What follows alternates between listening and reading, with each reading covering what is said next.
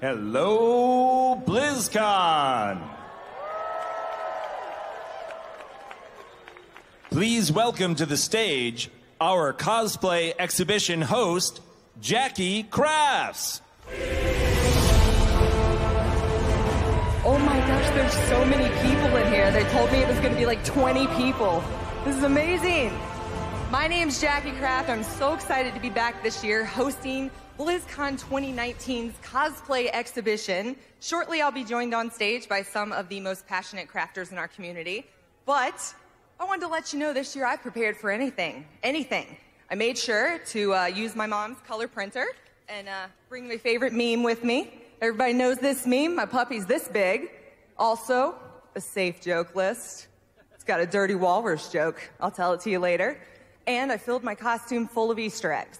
Got an underlight angler arm, some Cal stuff, and uh, Jaina Proudmoore, some Pharah here. It's just pretty much anything to distract you guys in case something went wrong, but that's not going to happen this year. It's going to be wonderful. Shortly, we're going to bring on our cosplayers that have created some of the most beautiful costumes from all of our favorite games. I want you guys to give them love. It is really hard to make this stuff. I'm 33 years old and I'm dying in here. It's brutal. I don't wear scarves. I made a giant first scarf. It was a terrible idea. But these people, especially our first cosplayer, are dressed uh, a little bit more fitting for the occasion. So, Monty, can we get started with the amazing cosplayers? Sure thing, Jackie. We have some amazing cosplayers backstage, and we can't wait to bring them out to you. Here comes Zhythe as Grand Magistrix Elisande.